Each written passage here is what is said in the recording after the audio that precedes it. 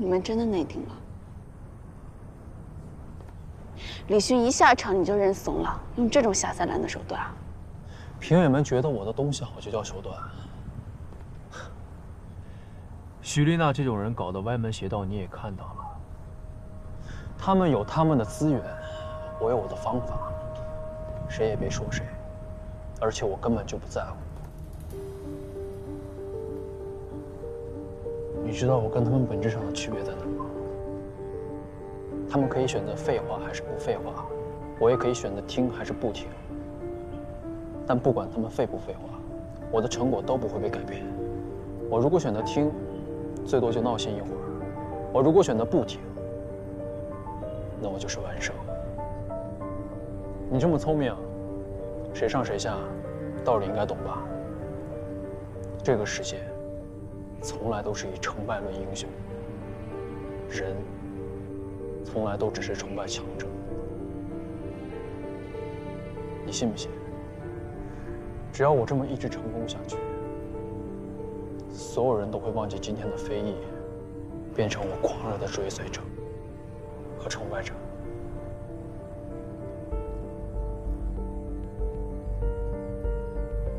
好了，我说完了，走了。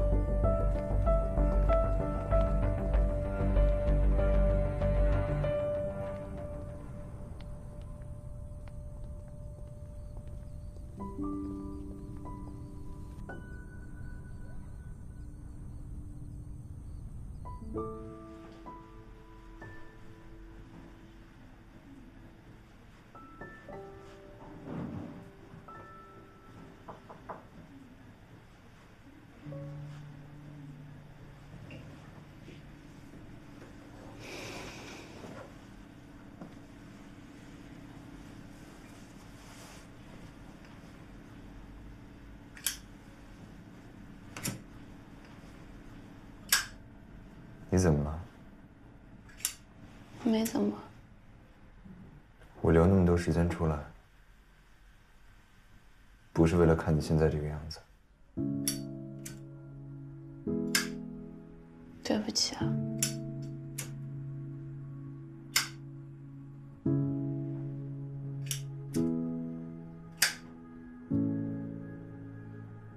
你很讨厌方之镜吗？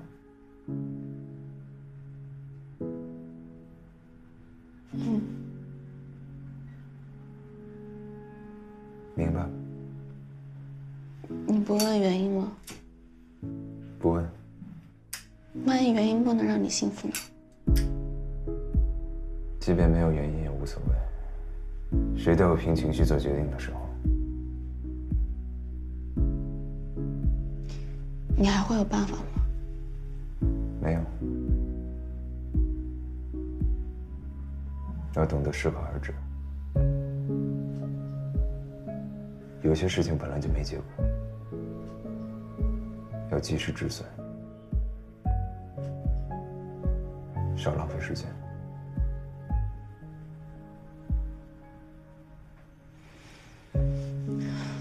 我累了，你走吧。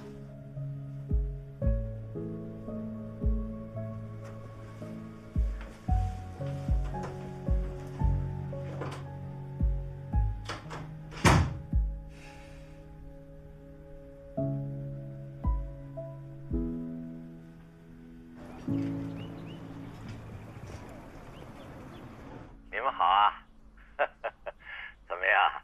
紧张不紧张啊？呃，我要告诉你们，比赛当天呀，采取的是组长先上台阐述，评委当场打分的规则。呃，阐述时间只有十分钟，然后呢就是作品的演示。朱越，课代表。啊，老师。我的意思啊，是你们自己啊，先演示一遍，在短时间内啊，把作品的创新性、技术路线、应用前景，给评委和观众展示清楚，这一点很重要，知道不？知道了。老师，信科大那个 USB 加密项目是不是内定了？哎，